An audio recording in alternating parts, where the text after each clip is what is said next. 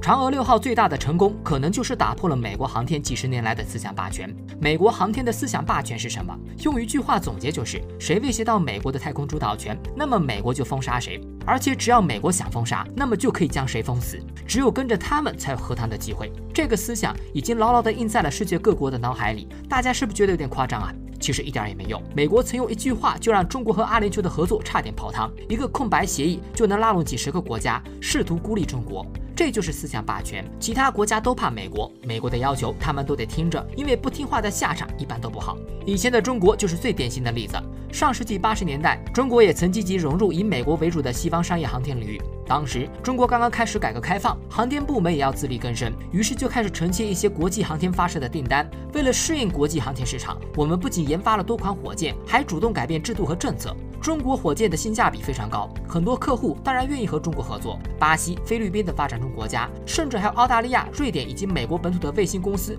都找过中国合作。中国商业航天快速崛起。结果呢？因为我们崛起的太快，让美国感到了威胁。一九九九年，美国国会议员考克斯出具了一份根本没有证据的报告，只要用了美国原材料、设备和技术，都需要美国批准。实际上，别说卫星，就算是一颗螺丝钉，美国都没有真正批准过。美国劳拉空间和休斯电子公司还因为与中国合作，分别被罚了一千四百万和三千两百万美元。美国用这些案例警告所有的民间公司，禁止与中国航天合作。这个报告最终被证明是假的，但是对中国刚刚发展起来的商业航天造成了毁灭性的打击。要知道，不是所有的国家都像中国那样拥有自己全套的卫星建造技术，其他国家多多少少还要用到美国的技术，这让那些国家根本不敢与中国航天合作。我们好不容易发展起来的商业航天，就这么被釜底抽薪了。直到现在，中国商业航天依然没能缓过来，国际航天市场还是以美国企业为主。两千年时，中国航天对美国还是抱有希望的。当时，中国航天虽然失去了民用市场，但是与美国政府还有点合作。我们的科研仪器还进入过国际空间站。为了更快地发展空间站技术，当时的中国科技部部长周立兰就公开表示，中国航天第十个五年计划的目标就是加入国际空间站。太空空间站可不是摆设，在上面做科研需要各种设备、各种科研项目合作。中国在这方面还是比较薄弱的。如果能借助国际空间站锻炼的机会，那么中国空间站的发展可能就会更快。结果这个想法很快又被打断了，因为二零一一年美国又出了一份类似考克斯报告的条款——沃尔夫条款。这份条款就不说了，反正和考克斯报告一样，彻底断绝了中国进入国际空间站的机会。中国与美国连政府之间的合作机会都没有了。中国成为唯一一个被长期排除在国际空间站之外的航天强国。哪个国家和美国作对，那么这个国家的航天注定是坎坷的。这就是美国的霸道之处。除了中国，俄罗斯和阿联酋也是受害者。美国曾在2014年对俄罗斯航天工业进行制裁，禁止欧美国家的企业和组织使用俄罗斯的火箭发射卫星，断绝了俄罗斯的商业航天之路。要知道，美国当时还在借助俄罗斯的联盟号飞船往返国际空间站。我要用到你的地方可以合作，而我用不到你的地方，你别想跟别人合作。美式双标堪称霸道，但正是因为这种无法抗拒的霸道，才让世界各国瑟瑟发抖，谁也不敢违背美国的航天霸权，甚至连反抗的念头都没有。二零二二年，阿联酋航天机构本来与我们签订了一份合作意向书，阿联酋的拉希德二号月球车将搭乘我们的嫦娥七号探测器登月。当时甚至有传言，阿联酋愿意为双方之间的合作提供高达三百亿元的资金，这笔钱比整个嫦娥探月工程的预算都要多。如果能达成，对于双方来说都有好处。结果，美国听到这个消息，直接向阿联酋施压。二零二三年三月份，美国政府对阿联酋施加压力，认为阿联酋与中国的探月合作违反了一九七六年的国际武器贸易条例。按照美国的条例规定，只要你的月球车上使用了任何一点点的美国技术，哪怕是一颗螺丝钉用的是美国货，那就不能搭乘中国火箭。阿联酋非常无奈，由于传统石油已经没落，阿拉伯国家都在转型，阿联酋也想将他们自己打造成国际金融城市，其中航天科技是他们提升国家形象非常重要的一步。二零一六年，阿联酋正式发布了阿拉伯国家中的第一份国家航天政策，提出了要成为国际航天业领导者的梦想。作为一个后发国家，阿联酋想要实现航天梦，国际合作是绕不开的。他们先是与韩国合作，发射了迪拜一号、迪拜二号两颗卫星。二零二零年，阿联酋又与日本合作，在日本种子岛航天中心成功发射了希望号火星探测器，成为中东地区第一个探索火星的国家。这个合作案例非常成功，给阿联酋带来了很大的声望。于是他们又将目标瞄准了这些年最火的登月项目。在登月项目上，中国不管是在技术成本还是在服务上都是最好的，与中国合作压根没啥问题。为了保险起见，他们还是制定了两个方案，一个是将拉希德一号月球车交给日本航天发射，还有一个就是给中国航天。日本的白兔号月球探测器任务失败，直接撞上了月球。白兔号上携带的阿联酋拉希德一号月球车也未能幸免于难，拉希德一号所托非人，而拉希德二号则是在美国的阻挠下，登月的梦想正在变小。阿联酋的月球梦才刚刚起步，就蒙上了阴影。美国用这些案例霸道地向世界宣示：不管你实力多强，我允许你做的，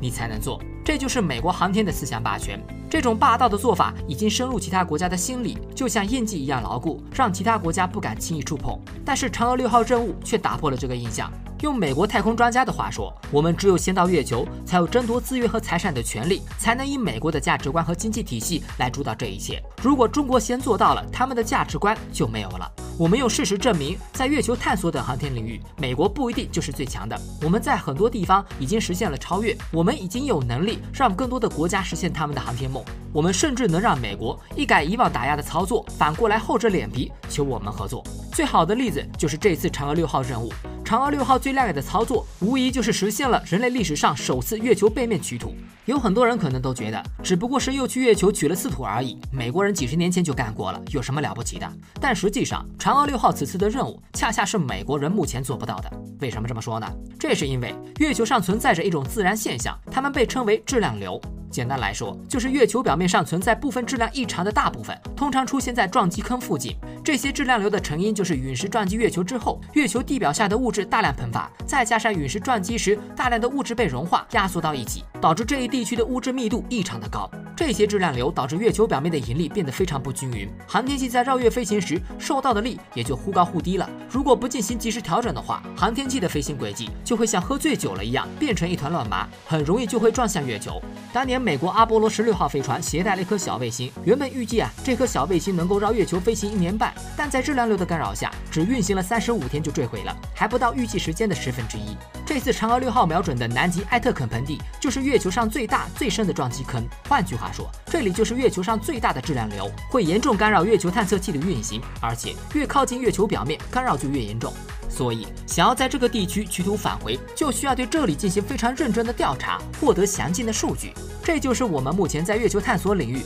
领先于美国的地方——数据。经过嫦娥一号到五号的多次探测，我们已经拥有了目前世界上独一份的月球科研数据。我们嫦娥六号任务之所以能够取得成功，成为第一个在月球背面取土的国家，就是因为我们在嫦娥五号任务中就对南极埃特肯盆地进行了细致的探测，获得了目前世界上最新、最详细的引力数据。这些数据是美国都没有的，这也是美国一边制裁打压我们的航天事业，一边却又厚着脸皮找我们索要月球土壤样本，借用鹊桥通讯卫星的原因。月球土壤样本能够帮助美国分析月球表面的环境，获得最新的研究数据，而鹊桥中继通信卫星则可以帮助美国获取月球背面的数据。事实证明，在月球探索领域，我们确实已经部分实现了对美国的超越，打破了只有跟随美国才能取得突破性进展的思想刚硬。甚至就在前几天，在嫦娥六号绕月飞行的同时，我们还发布了目前世界上最详细的月球全景地图，清晰度足足是美国发布地图的两倍。这无疑说明了我们在月球数据上的领先，并且嫦娥工程取得的成功与美国登月的拉胯形成了鲜明的对比，还进一步动摇了美国航天霸权的地位。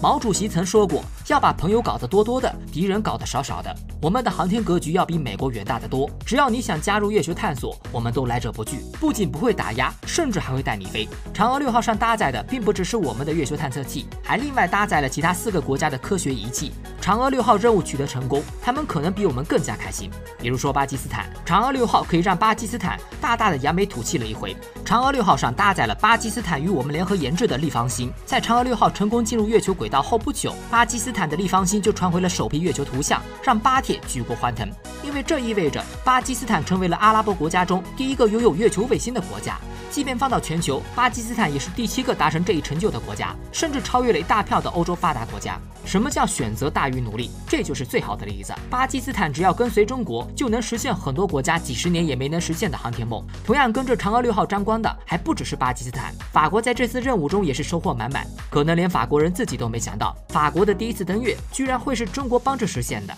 别看法国也是联合国五常，在大众印象里也是科技发达的国家，但实际上法国至今未能实现登月，甚至就连独立探月都未能实现。而在嫦娥六号上，我们大方的分配给了法国人二十五千克的登月载荷。这次登月就携带了法国研制的一台冬季探测仪，让法国人也体验了一把登月的感觉。高兴的法国航天机构官员甚至还给我们拍起了彩虹屁，说我们的探月工程取得了举世瞩目的成就，并表示法国正在寻求与中国开展更多的航天合作。就在今年六月，我们还将发射一颗与法国联合研制的天文卫星，联手探测伽马射线暴现象，共同研究暗能量、宇宙岩化等尖端天文学项目。航天技术比较落后的巴基斯坦，我们就采取合作研制的方式带动小弟发展；而有一定技术实力、经济实力的法国，我们就采用合作共赢的方式，将部分科学载荷分配给他们。总有一种方式适合你。这样一来，我们不仅可以减少一部分的研发支出，其他国家也可以实现自己的航天梦，可以说是最好的双赢。巴基斯坦和法国的例子证明，我们有能力帮助其他国家实现自己的航天梦。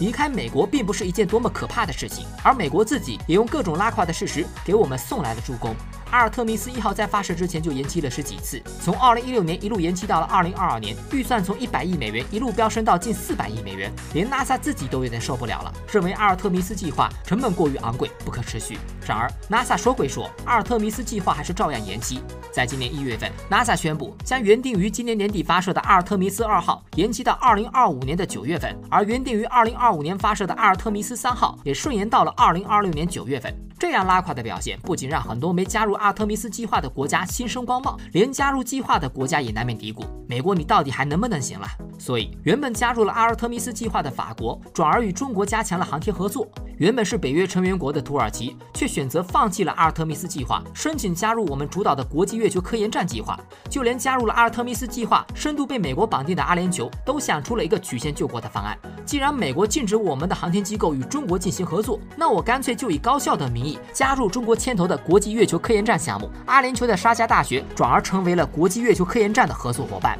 甚至就连 NASA 自己都厚着脸皮表示，NASA 对于加入国际月球科研站持开放态度。突破了美国的航天霸权之后，更多的国家向我们表达了合作意向，我们的朋友圈在不断变大。在嫦娥七号任务上，我们就收到了来自至少十一个国家的十八份意向书，我们从中挑选了六位幸运乘客，包括埃及和巴黎联合研制的月表物质超光谱成像仪，瑞士研制的月基双通道地球辐射能谱仪，泰国研制的空间天气全球监测传感装置等等。这也意味着，埃及、巴林、瑞士、泰国这四个国家都将搭乘嫦娥七号的顺风车，实现自家首次登月的梦想。嫦娥七号将成为我们月球基地的前哨站，在对月球最有可能存在水资源的南极进行详细的考察，让我们在数据上的领先优势进一步扩大。正是看到中国航天一步一个脚印，坚持有力的推动月球基地的建设，让我们的月球梦，让更多的国家月球梦逐步成为现实，才会有那么多的国家选择相信中国，与中国合作，才会让美国人坐立不安。让美国人着急去吧，我们的征途将是星辰大海。好了，我是熊猫，本期视频就到这里，我们下期见。